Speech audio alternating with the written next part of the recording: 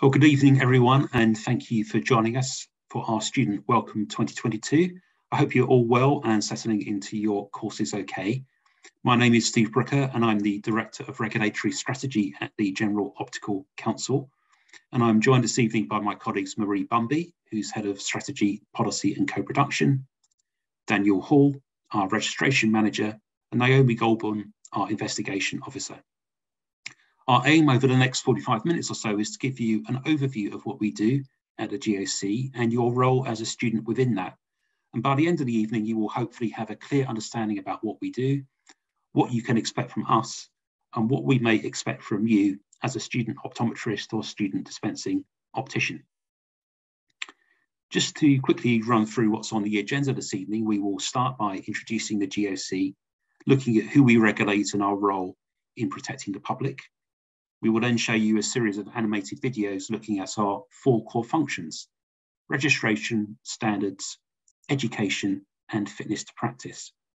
Then there'll be a Q&A session, giving you an opportunity to ask us any questions you may have about the GOC. And then finally, we will tell you how you can keep in touch with us during your studies. Before we begin, a reminder that this is a Zoom webinar, so you're all on mute. If you do have any questions, please pop them in the Q&A box. Uh, you should see that at the bottom of the screen. Please don't wait for the Q&A session to do that. You can add those questions at any time and we will do our best to answer as many of them as we can. And just to remind you, we are recording all three of our student welcome events and one of them will be uploaded to our YouTube channel and circulated. We're not going to record the Q&A session. So let's begin now with the first item of the evening, and that's a short introductory greeting from our Chief Executive and Registrar, Leonie Milliner. Hello, my name is Leonie Milliner and I am the Chief Executive here at the General Optical Council. I'd like to wish you all a very warm welcome to your first year of studies and registration with the GOC. We are the regulator for optometrists, dispensing opticians, optical students and businesses in the United Kingdom. And each one of you plays a key role in helping us deliver our mission of protecting the public by upholding high standards in the optical professions. Now, registering with us is a legal requirement, whether you're a student or fully qualified. And so you'll be registered with us throughout your studies and your career. And as you start your journey in the optical sector and with us, we'd like to help you understand what we do, how we do it, and maybe even demystify some of our processes. In this presentation, we will explain our role, our core functions, and the different ways you may encounter us throughout your studies and career, so you understand what you can expect from us and what we may expect from you as a student optometrist or a student dispensing optician. At the end of this session, you will also have the opportunity to ask our staff any questions you may have. We will maintain contact with you throughout your registration with us, through our monthly registrant bulletins, through social media, and we will host another one of these roadshow events in the final year of your studies before you qualify with us. Our vision is to be recognised for delivering world class regulation and excellent customer service. We believe that when we work together, we can keep the public safe whilst delivering first rate optical care. We look forward to embarking on this journey together.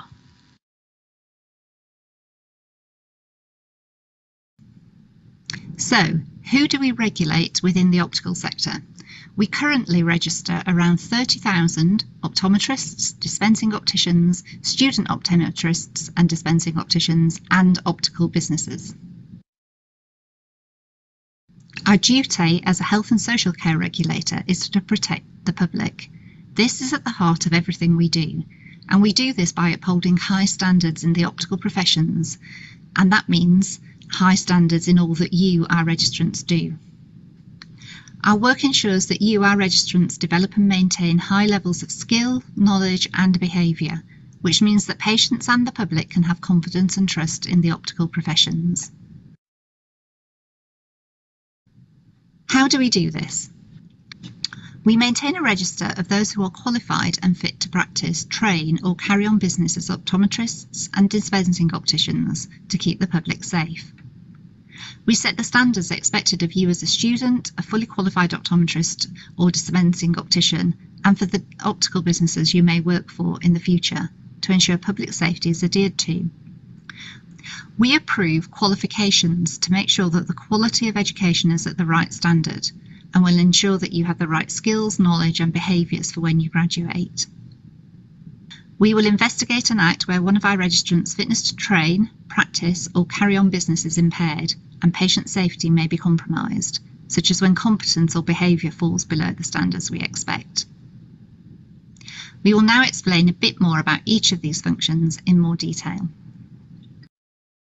So uh, as we said at the end of the slide, we're now going to play a series of short videos explaining those four core functions, registration, standards, education and fitness to practice. And we're going to start with registration.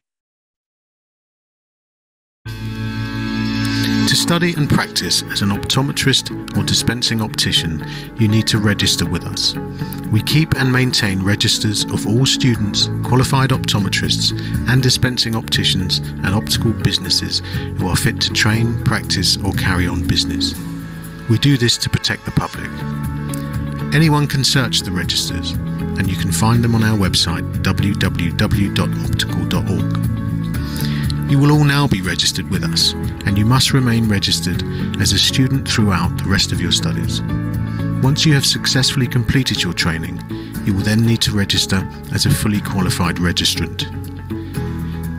If you fail to register or renew, you are breaking the law. As a student, that can mean you are removed from the register, that your final exams won't count, and you may have to repeat years.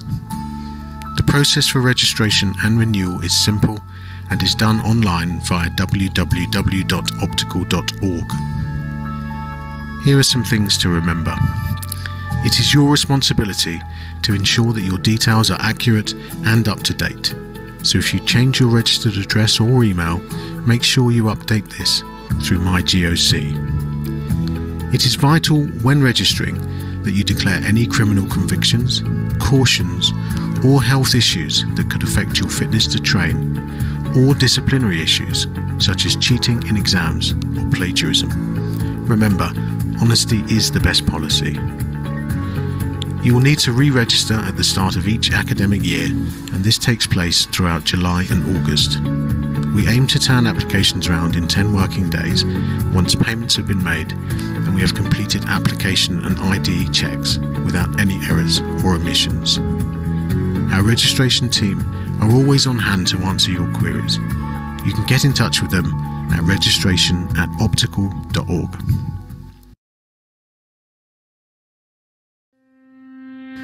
Just as registering with us is a requirement, so is following our standards for optical students.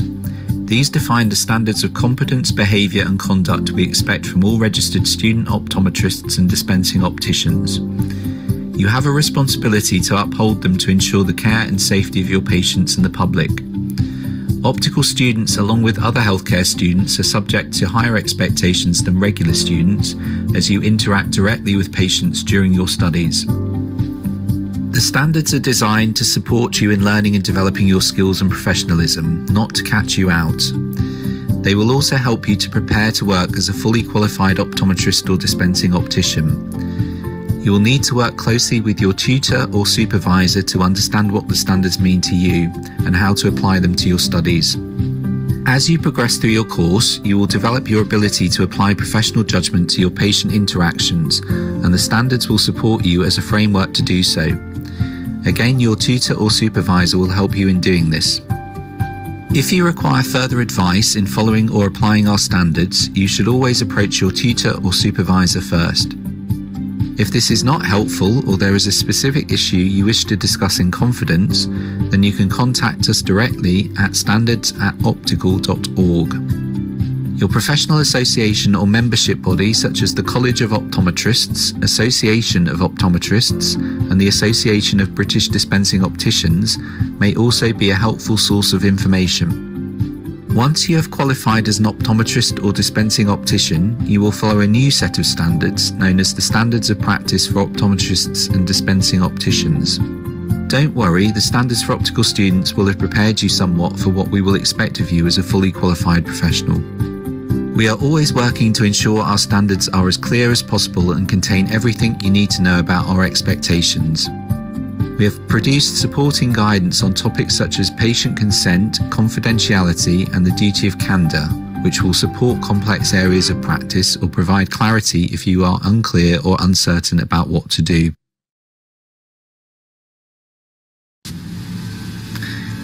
Ensuring the quality of optical education is vital for public protection. This ensures that as a student, you gain the skills, knowledge, and behaviours you will need in order to practice your chosen career. We do this by setting the standards for qualifications we approve and undertaking regular visits to ensure providers of GOC approved qualifications are maintaining those standards. This means that as new optical professionals, you'll be equipped to deliver eye care services in a rapidly changing landscape and are ready to meet the needs of your patients. We have handbooks which describe the standards of education and training we expect providers to meet, which are available on our website at www.optical.org. These handbooks contain the requirements that qualifications we approve must meet, as well as the required core, core competences and the practical experiences that students must obtain in order to be eligible to join our register. During your training, you may bump into our quality assurance team if we are undertaking a visit, and you may be asked to give your views as students on the qualification, as it's important for us to get perspectives from different users of the system. Not all qualifications we approve will be delivered in the same way, but they all need to meet our standards. It is important to remember your education and development doesn't stop when you qualify. We also manage lifelong learning throughout your career through setting minimum requirements for continuing professional development and encouraging registrants to reflect on their practice for the benefit of patients. You will find out more about this as you go through your studies, and we'll be coming back to tell you more when you enter your final year of study. One last thing. We have recently updated our education and training requirements for optometry and dispensing optics qualifications that we approve. Our new requirements will replace our current handbooks and will ensure newly qualified registrants continue to be well prepared for entry onto our register and meet challenges ahead.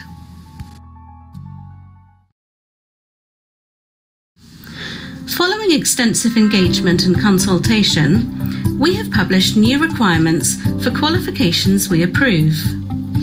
The requirements are split into three categories one for optometry and dispensing optics, one for contact lens opticians, and one for prescribing, which includes additional supply, supplementary prescribing, and independent prescribing. The requirements outline the knowledge, skills, and behaviours a student or trainee must achieve to be awarded a GOC approved qualification.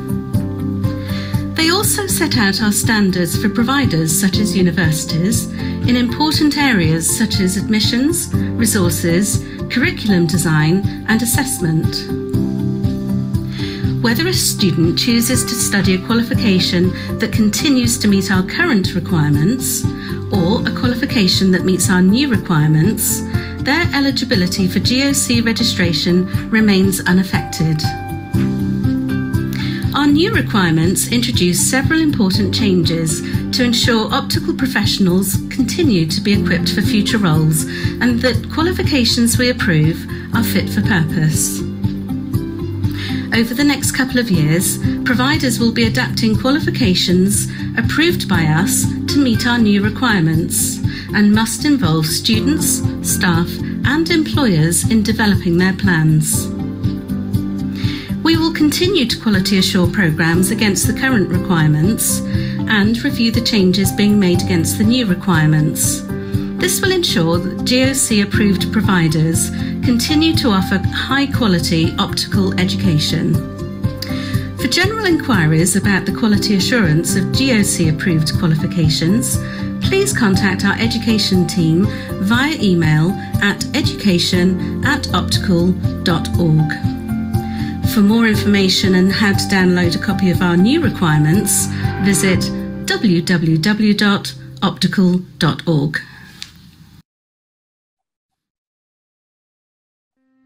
One of the most visible ways we protect the public is through our fitness to practice function. It's our job to investigate and act when we receive information which calls into question a registrant's fitness to practice, their fitness to undertake training, or their fitness to carry on in business. As you will now know, much of our regulatory work is concerned with setting appropriate standards for our registrants and ensuring quality training is delivered through approved education providers so that you are well equipped to deliver safe care for your patients. Any concerns we receive will be assessed against our standards, and that's one of the reasons why the standards and handbook we have shared with you are so important. We are aware that the fitness to practice process may cause some fear. You may be nervous about receiving a notification from us, or fear that you may be struck off for things that may seem quite minor, but this really isn't the case. As it stands, we have around 30,000 optometrists, dispensing opticians, students, and businesses on our register and receive initial concerns about less than 1% of them. And less than 60 registrants will be referred to a fitness to practice hearing each year. We hope you'll be reassured to know that in the last year we only opened investigations against a total of six student optometrists or student dispensing opticians. There are many reasons why your fitness to train may be impaired, such as academic malpractice, for example, committing plagiarism or cheating in exams, amending records or any other dishonest practice, inappropriate behaviour like violence or sexual misconduct, being under the influence of drugs, receiving a criminal conviction or caution, or experiencing any physical or mental health issues that could affect your ability to practice safely. So, how do our investigations work? Our triage team is responsible for reviewing any concerns, self referrals, or referrals that we receive. The team will progress any complaints that could raise potentially serious allegations, while also identifying complaints that do not require regulatory intervention and will close them at that stage. If a case needs examining further, it will be opened and transferred to our investigations team before being presented to our independent case examiners, who will then decide what action to take. If they believe that it is likely that a concern could be proved and that it is so serious that a sanction may be necessary, it will be referred to our Fitness to Practice Committee for hearing. Our hearings are always heard in public unless there are private matters involved, such as health or personal issues. If the concerns are found to be proven at the hearing, there are several possible outcomes, and this will depend on whether the registrant's fitness to practice is found to be currently impaired. These can range from no further action to conditions of practice to suspension or erasure. Hearing outcomes are all published on our website at www.optical.org. Remember, it is vital that when registering or renewing that you declare any criminal convictions or cautions, any disciplinary matters you have been through at your college or university, or any health issues that could affect your fitness to train, and we encourage you to report any incidents when they happen. Honesty is always the best policy. If you have any queries or concerns about fitness to practice, please contact ftp at optical.org. So before we go, we just would like to remind you that our standards for optical students can be found on our website. And to see them, you can scan the QR code uh, that's on the slide or visit our website and just search for standards for optical students. And that should be the first result that pops up. The standards are available both on the web page itself, but you can also download them as a PDF handbook. Um, and then finally, some of our contact details, if you do need to contact us, including our email addresses, phone number, and website. And if you do have any more questions that come to mind that we didn't get to answer today, uh, please do drop us a line. As you would expect, we're also on social media. Uh, we have Twitter and LinkedIn accounts, which are regularly updated with our latest news and content. So please follow us. So finally, I hope this evening has been helpful in giving you a greater understanding about what we do at the GOC, what you can expect from us, and what we may expect from you as a student optometrist or a student dispensing optician. In the next couple of weeks, we will send around a welcome pack, and that will include a recording of one of these welcome events, written answers to questions that we've been frequently asked during these events, as well as standards and guidance that will be relevant to you as a student. So thank you very much for joining us. Good luck with the rest of your studies and good evening and good luck. Good night.